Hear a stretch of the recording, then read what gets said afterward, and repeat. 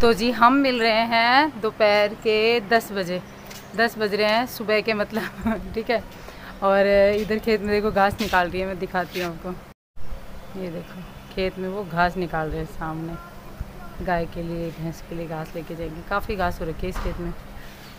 इधर भी। और नाना धोना सारा काम फिनिश है। बस मेरे को रोटियाँ सेकनी है। मैं एक बार आई थी, दो तीन कपड़े थे। मैं सोचा इनको निचोड़ देती हूँ। एक बार रुकना। एक तो मोटर चल रही है ऊपर से कूलर चल रहा था तो आवाज़ ही नहीं पहुँचती आप लोगों तक इसलिए मैंने एक बार बंद किया है। पानी आ रहा है तो ऊपर टंकी में पानी चला रखा है मैंने। अब करेंगे पूजा। साहब जो है ना उन्होंने हरे राम हरे राम कृष्ण शुरू कर दिया बोलने। कृष्ण। और आप बताना ये साड़ी कैसी लग रही है? साहब कैसी लग रही है साड़ी? इधर आओ एक बार। नहीं आओ मतलब आ जाओ तो आ जाओ तो। बनियान पहन रखे भाई हम नहीं आते हमारे अच्छा चलो आप बताओ। आप लोग बताना ये साड़ी कैसी चल लग रही है? ये साड़ी जो है ना आरती ने भेजी थी। मतलब आरती ने कई साड़ियाँ दी थी उसमें से एक साड़ी ये भी है। तो मैंने सोचा आज मैं पहनती हूँ। डेली वेयर साड़ियाँ हैं ये।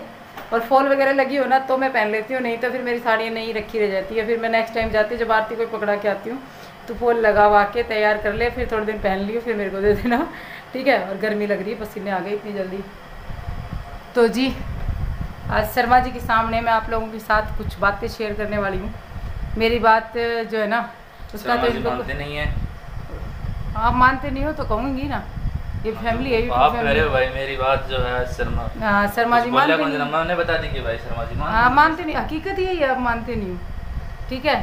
तो बाकी सारी यूट्यूब फैमिली है उनके सम, सामने मैंने सोचा कि आज मैं रखूँ। तो देखिए जी वैसे तो एक हफ़्ते से लगभग हो गया मेरा इस बात पे इनसे बात हो रही है। देखो यहाँ आए थे तो कुछ प्रॉमिस किए थे इन्होंने सारे प्रॉमिस इनके मैं अब पेशेंस नहीं रख सकती ठीक है?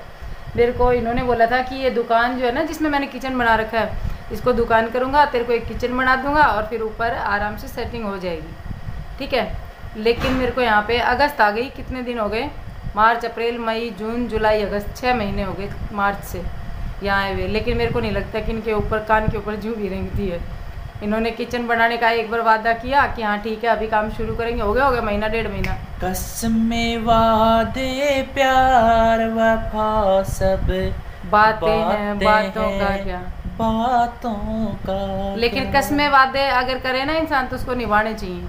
देखो मैंने इनको तो साफ़ अल्टीमेटम दे दिया। ज़्यादा से ज़्यादा एक हफ़्ता और मैं दे रही हूँ इनको रक्षाबंधन के बाद। मैं तो गाँव में शिफ्ट हो रही हूँ। मैंने आप लोगों को बोला था ना, आप में से कई लोगों ने कहा कि, मैंने कहा था ना, मैं किचन मेरी ये नहीं रहेगी। मैंने सोचा था, ये मान जाएँगे कि हाँ वहाँ किचन बना लेंगे बाहर। लेकिन मैंने इनको बोला, इन्होंने कोई मेरी बात का, इनकी कान पे जू नहीं रहेंगी। और ऐसा नहीं है कि इनका बजट नहीं है, ठीक है? लेकिन बना नहीं रहे अभी। कह रहे हैं कि सर्दियों में काम शुरू करेंगे। अब सर्दियाँ आएँगी दो तीन महीने और और इस किचन में मेरे से नहीं होता यार। अब पता है, मेरे कमर में दर्द रहता है और ऊपर से एक रूम और एक किचन परेशान हो चुकी है एकदम। ये किचन जैसी किचन भी नहीं है। अब मैंने इनको बोल दिया कि मैं जाऊँगी गाँव में, मैं गाँव में शिफ्ट हो रही हूँ। ठीक है? कह रहे हैं कि नहीं यार, ये सारी बातें मत कर यूट्यूब पे, लेकिन मैं तो करूँगी अब। बीच में कह रहे हैं, बंद बंद बंद बंद बंद बंद कर दिया था एक बार, कट किया बीच में से, लेकिन अब मैं इनको आप सबके सामने कह रही हूँ कि मेरा आखिरी फैसला है मैं गाँव में शिफ्ट होंगी। अगर एक हफ़्ते में मेरे को किचन तैयार नहीं मिली तो। काम शुरू कर दो, नहीं, ये किचन- ये दुकान ही रहेगी इसमें मैं दुकान करनी है मेरे को।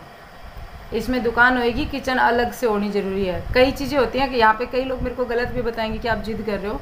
लेकिन जिद की बात ये है कि जब जहाँ पर वो होता है ना कि जहाँ हक ना मिले वहाँ लूट सही। तो यहाँ हक नहीं मिलता वहाँ पे अब अपन तो सीधी सी बात कहते हैं कि मेरे को यहाँ पे मैंने बोला इनको ये दो महीना और निकाल दी इन्होंने मैंने आप लोगों के साथ शेयर भी किया था कि काम चलाएँगे लेकिन इन्होंने दो महीने निकाल दिए इनके कोई फ़र्क ही नहीं पड़ता यार। मेरे को चेतावनी दे रहे हो आप? चेतावनी दे रही हूँ हाँ। चेतावनी दे रहे हो? चेतावनी सबके सामने। मैं कौन मैं शिफ्ट हो जाऊँगी सच कौन में। दो? मैं सच में गाँव में शिफ्ट होंगी आप देखना। मैं गाँव में शिफ्ट होंगी अब मैं कहता हाँ दूँगी बोलो क्या करोगा नहीं मैं तो? चेतावनी नहीं कहूँ ना मैं नू ना कहूँ ना मैं ऐसे कहूँगी तो देखांगा भाई सेटिंग कर देंगे मैं तो गाँव में शिफ्ट गाँव में शिफ्ट होंगी मेरे बच्चों को लेके एक वहाँ पे भी पढ़ सकते हैं ये दूसरे स्कूल में वहाँ पे एडमिशन करा दूँगी देखेंगे। ठीक है? तो जी ये मेरा अंतिम फैसला है मैंने सुना दिया इनको कि मैं गाँव में शिफ्ट हो रही हूँ। कुछ भी हो जाए ये किचन मेरे से बर्दाश्त नहीं होती अब। इरीटेट हो जाती हूँ यार सुबह से लेके शाम तक काम करना मतलब परेशान हो गई बैठे बैठे बैठे बैठे पैर दर्द होता है। क्या बताऊँ आपको हर चीज़ बताई भी नहीं जाती ठीक है? अगर गीदड़ से परेशान होके शेर अपनी चाल बदल दे तो फिर वो शेर कैसा हुआ? ना मैं शेर को नहीं मैं तो गिद्दड़ ही रह लूँगी। आपके कहने से दोरी हो जाएगा धीरे मेरे धीरे को शेर बनना ही नहीं है मैं धीरे धीरे नहीं आपका धीरे धीरे आएगा ही नहीं। वहाँ पे यूँ बोलते थे रामकुटे के पास घर बनाऊँगा घर बनाऊँगा और फिर मेरे को वहाँ से वो वो होता है ना घर तो बनाया नहीं उल्लू बना दिया। उल्लू बना के फिर यहाँ ले आए। अब यहाँ पे भी वो हाल है किचन बनाऊँगा, बना दूँगा बना दूँगा और अभी भी उल्लू ही बना रहे हैं, मेरे को लगता है। तो मैं अब बर्दाश्त नहीं करने वाली, ठीक है? तो चलिए फिर इस वीडियो का एंड करते हैं। हम मिलेंगे एक नए वीडियो के साथ में। बहुत जल्द, तब तक के लिए bye and take care thanks for watching जाते जाते वीडियो को लाइक कीजिएगा। चैनल पर नए आए हैं सब्सक्राइब कीजिएगा। बाय